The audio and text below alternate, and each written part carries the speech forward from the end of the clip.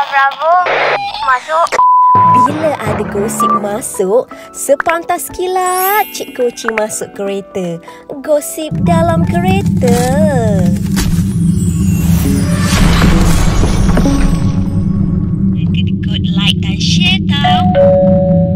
Assalamualaikum dan hola hola guys. Selamat datang ke Cik Koci Channel. Gosip dalam kereta dengan hashtag sepantas kilat. Jom jom hari ni kita nak cerita mengenai ya ampun Mira Liana raikan penceraian suaminya pergi makan besar dengan family. Ha, sejak semalam ya hangat diperkatakan mengenai suami kepada pelakon Mira Liana ni iaitu Roslan Ottoman yang menceraikan isteri pertamanya Adibah Mutalib Khalid dan Roslan menceraikan isteri pertamanya ni dengan talak satu di depan hakim selepas katanya tiada lagi persefahaman dan tiada perasaan sayang terhadap Adibah.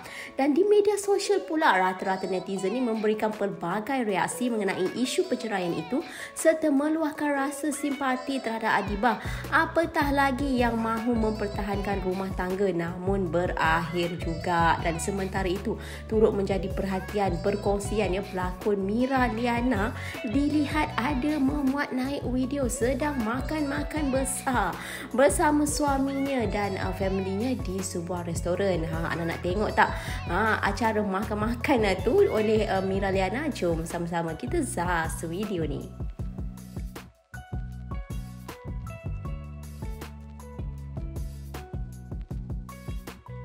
Wow, nampak gembira dan sedap-sedap makanan dia ya. Dan semalam juga ibu mertua Roslan iaitu Aisyah Abdullah berkata menantunya itu bakal mengadakan sidang media dalam waktu terdekat berhubung penceraiannya dengan bekas isteri. Ha, siap buat press conference lagi. Tak apalah apa-apa pun kita doa je lah yang baik-baik sama ada untuk pihak di sana dan pihak Adibah juga. Dan kepada anda semua seperti biasa jangan lupa jangan kedekut untuk like, share dan subscribe Cik Koci Channel Ghost dalam kereta dengan hashtag Sepantas Kilat. Dari subuh, Cik Koci bagi gosip terbaik semestinya dalam kereta. Terkadang mengejutkan. Sampailah ke malam. Jangan kedekut like dan share tau.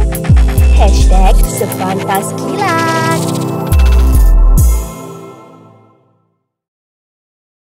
Diulangi artikel ini diambil dari artikel berkenaan. Sebagai penggemar media hiburan, harus berhati-hati dalam memilih sesuatu isu. Kami tidak bertanggungjawab kerana pihak kami tidak tahu kesahihan berita yang dikeluarkan. Jangan meletakkan kepercayaan penuh dan membuat spekulasi atas perkara yang kita tidak pasti. Menghayati hiburan boleh, Jangan sampai kita melibatkan diri dengan fitnah dan buka aib mereka.